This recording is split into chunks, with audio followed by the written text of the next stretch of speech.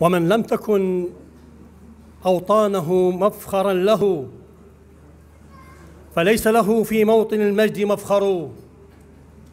ومن كان في أوطانه حاميا لها فذكراه مسك في الأنام وعنبر. والآن نقرأ سورة الفاتحة لأرواح شهداء قواتنا الأمنية البطلة وشهداء الحشد الشعب الوطن. الوطني وقوفا.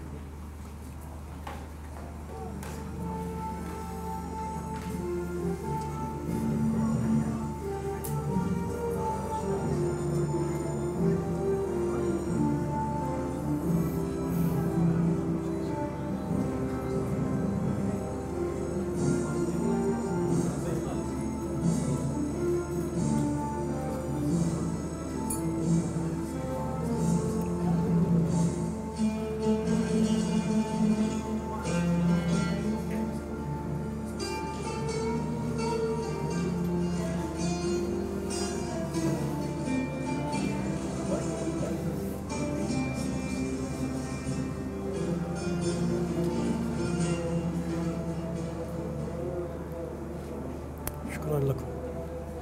شكرا لكم.